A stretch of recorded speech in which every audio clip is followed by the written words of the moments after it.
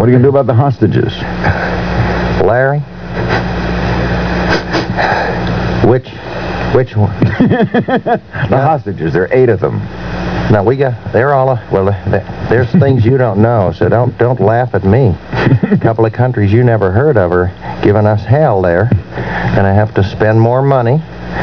Larry, it's a, don't like it. You got, you got a melting, boiling pot there. Arabs on one hand, then you got your he, a Jew, uh, Israels. What are they? Israelis. Fellows with a big nose. Wait, wait, now, wait a minute. Israelis there. Not all of them, just most of them. a lot of the children, though, surprises me. A lot of children have big noses. Is that what you observed? For a reason, Larry. You know, you work out there in the sun, you need it. Got to know what time it is. That's why God did it, so man could know when it was four. You know, Larry, I, well, of course, you're talking, just got off the stealth there. That's a, you know, that's going to be a beautiful thing. What do you that- think of that plane? well, gonna heard something disturbing news today. What? Russians already got something called the Cloud 80. Look- they look like a cloud up there. Doesn't have any wings or motor, just looks like a cloud. Chief of Staff said to me, "We're gonna have to protect. We're gonna have every cloud's gonna be an enemy up there." Well, you know. Now, Larry, a lot of popular music is hinged on the fact that you know rainy days are good. not not now. Could be Russian. The Russians have a cloud plane. Called the Cloud 80. Looks like a cloud there.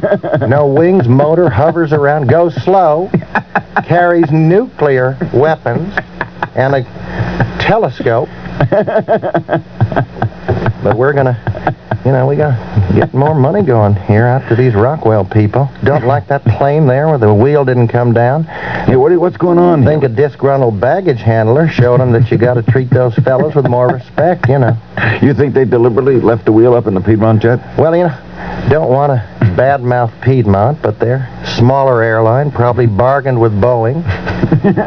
You mean Yeah. for one? For, they Boeing only gave them one tire? Got a deal working there. You got to, you need, a, you know, they go over. They don't take the whole package. Right, right gear, yeah. Left gear, no. Call me later. You know, you don't have it. Does it drive well to Miata? D- Larry, thing ought to looks like a nuclear bomb. That's why I bought it. I'm driving around there. Neighbors think it's a bomb. Got USA painted on it. Got nuclear on the side. Keep the burglars away there. They're not gonna. They don't care about the alarm thing.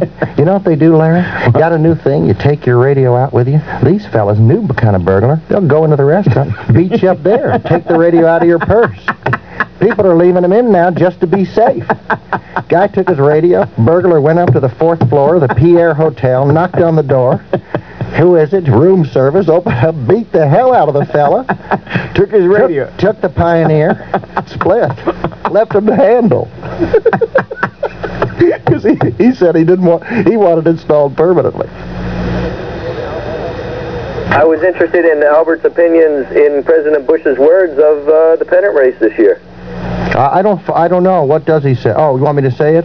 Oh, I don't know. baseball Albert, enough. Albert's not a baseball fan. Well, but is he a baseball fan, Bush? Oh, big. Oh, well, then I, then I he goes wouldn't- to Oriole. This is his fourth Oriole game. don't go And he don't make a big announcement. He just goes. Larry, gonna level with you. Don't go there for that reason. Why do you go? There's a phone there that I use. Can't be tapped because of all the people to suck up all the bugging devices there. Only bad So you go to you go to Baltimore to make a call. I can. My safest place for me is to be with a hundred thousand people. You don't know the work I got done at the Olympics.